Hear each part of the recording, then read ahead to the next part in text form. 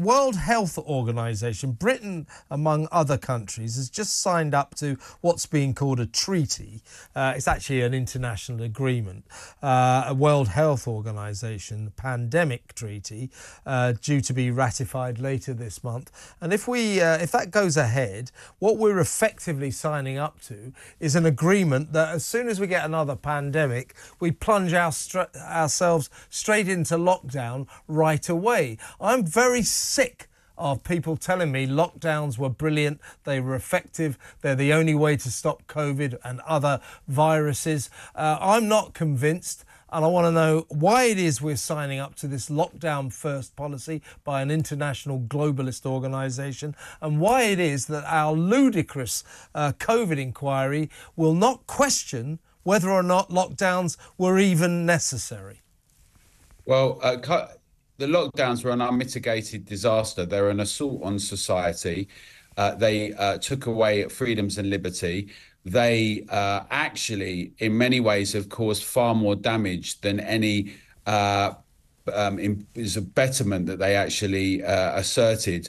Uh, we've seen across the board now in terms of the economy, in terms of our health, uh, delayed cancer, stroke, heart disease, the impacts of excess deaths now that we're seeing, particularly in younger people, the impact on care workers, because we're talking about the vaccine mandate, 45,000 people left. That's had a knock on effect on the NHS across the economy. 15,000 uh, hospitality businesses went out of business. Many more subsequently now have been. We've seen families disrupted, education impacted, young people, mental health, and a range of other issues, uh, as well as older people and the impacts on things like Alzheimer's and others, and dentistry and a range of other areas uh, that have been enormously impactful as a consequence of lockdowns.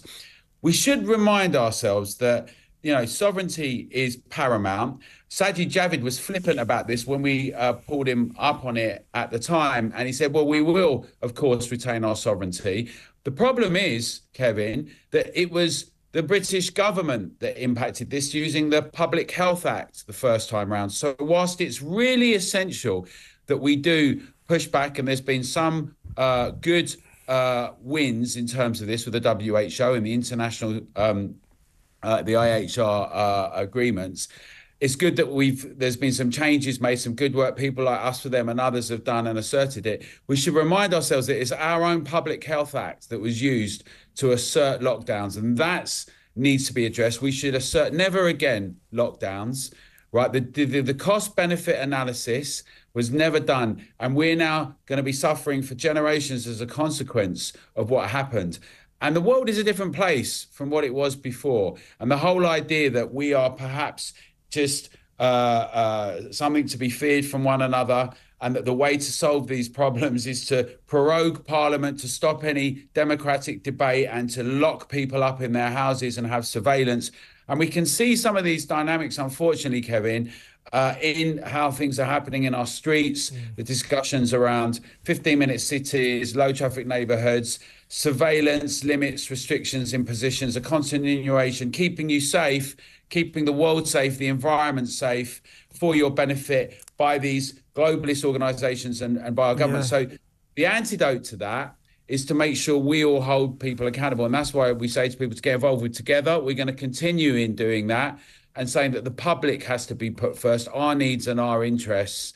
Uh, not what's happened in yeah. the last four a few, years. A few words from you, Alan, if, if, you will, about this COVID inquiry, which refuses uh, to include in its remit uh, the essential question that all of us are asking is were lockdowns even necessary? Now, my argument about the lockdowns, uh, I've probably said it to you before, it seems to me eminently logical. They didn't work because we had a lockdown. And then after whatever it was, a few weeks, a couple of months, we came out of lockdown.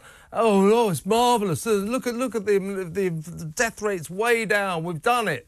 Three weeks later, oh, blimey, we better go back into lockdown. The deaths are soaring again. So we go into lockdown again. Uh, the death death rate slows down because obviously if no one's contacting each other, no one's leaving their home, you'll have the, the, virus won't spread.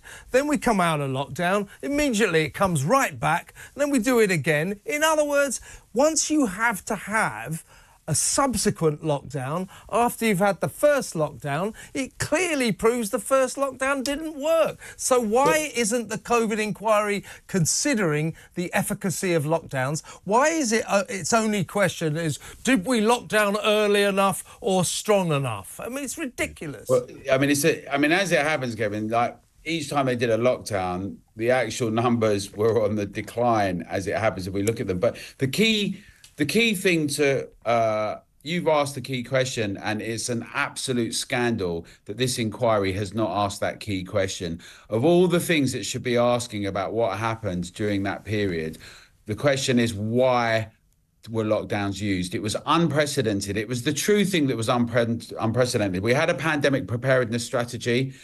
It was only ever used once before in a very small area in Mexico, and then China did it.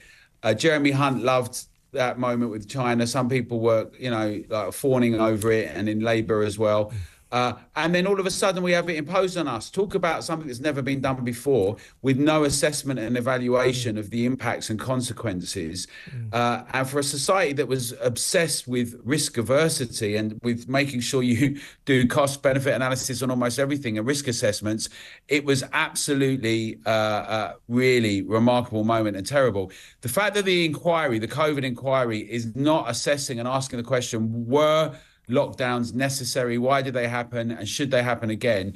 Just means that really it's not fit for purpose. There's some interesting things that have come out from it, but that's got to be a core question. And that's also why at Together Declaration, we've carried on campaigning. We invite people to become members up and down the country uh, to organise groups and to make sure that we're not going to allow this to happen again in Britain to us.